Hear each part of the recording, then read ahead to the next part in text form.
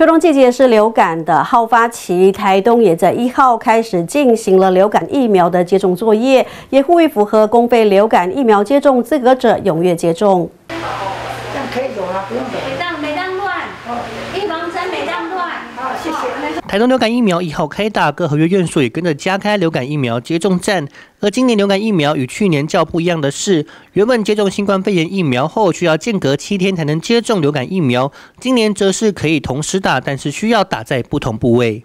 每年都打，这是去年也有打，今年也是这个，去年是十月五号，今年我知道十月一号开始打，我就来打。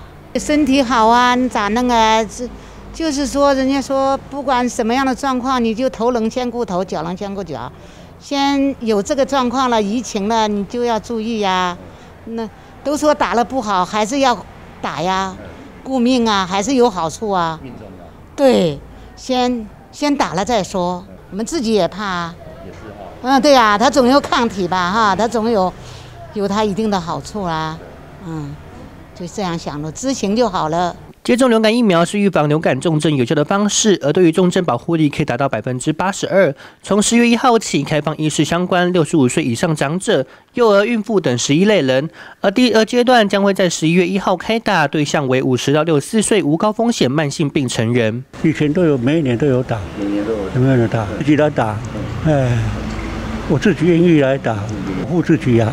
秋冬季节即将到来，而将要面对的是冬季流感流行期以及新冠肺炎疫情双重夹击下，最好的预防方式就是接种疫苗。而卫生单位也呼吁，符合公费流感疫苗接种资格者应该踊跃接种，提升自身保护力，并降低流感重症的几率。接盘这一综合报道。